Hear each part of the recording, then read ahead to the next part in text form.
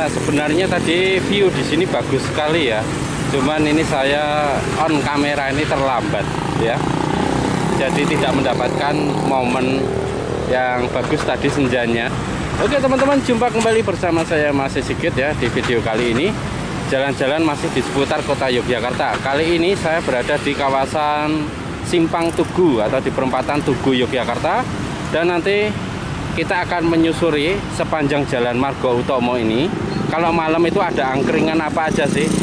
Kuliner apa aja sih yang ada di dekat Tugu dan Malioboro? Angkringan teman-teman bisa kita lihat ya. Ini adalah angkringan Mas Bagong ya. Seperti ini angkringan Mas Bagong. Suasana yang ada di perempatan Tugu.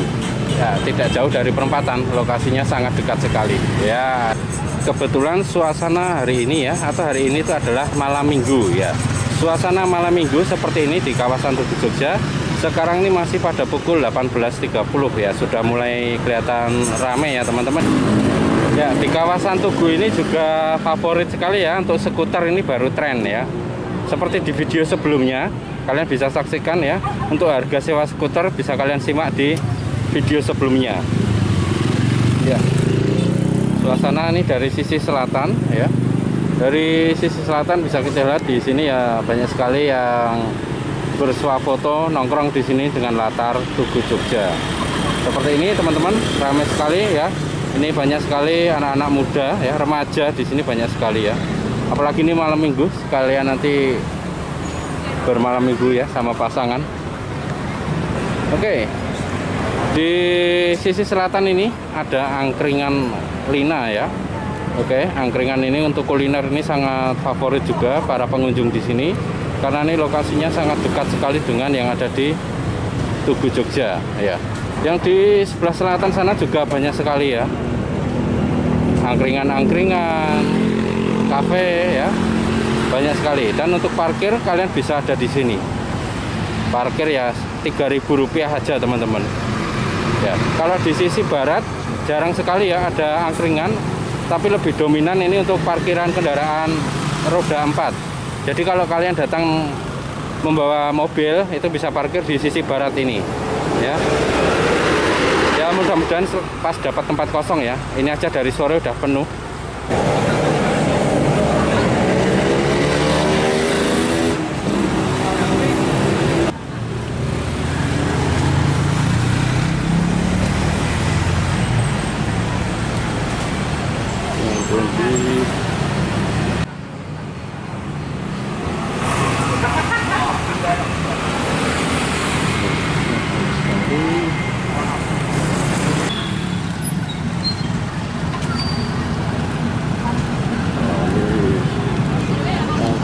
kopi wis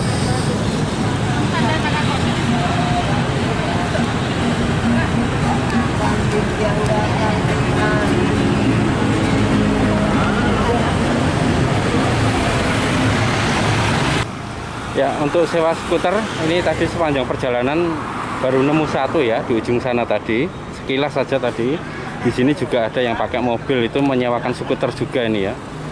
Nah, ini rata-rata 20.000 ya sewa skuter di sini. Oke, kita lanjutkan perjalanan menuju ke arah selatan.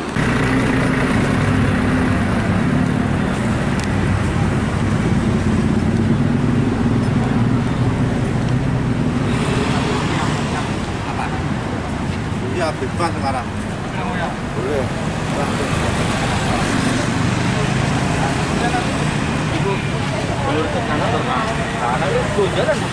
Ya, ada angkringan Gondes.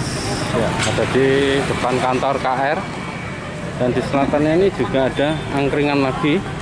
Ya ini semakin banyak ya mulai dari sini sampai ke sana. Ya ini ada angkringan Pak Jabrik angkringan untuk menunya komplit ya. Ini, depan KR ya. menunya banyak sekali di sini. Bisa kalian pilih ya. Aneka sate aneka nasi bungkus ya atau nasi kucing. Sego kucing itu banyak. Ini pilih sampai antri ini ya. Ini masih sore ya. Padahal kayak gini nanti biasanya sampai dini hari. Ya Oke, kita lanjut ke selatan lagi. Nah, ini ada angkringan unik juga nih ya. Ini pakai bemo, bemo atau apa ini kendaraan mobil. Nah. Ya. Oh, ini kopi jos tiga roda. Menunya seperti ini. Ya, di sebelah selatannya ini juga ada angkringan gareng petruk. Ya untuk menunya seperti ini. Wow banyak sekali ini menunya. Weh, ini bikin kalap ini nanti ya. Yang diet gagal diet ini. Pilihan menunya banyak sekali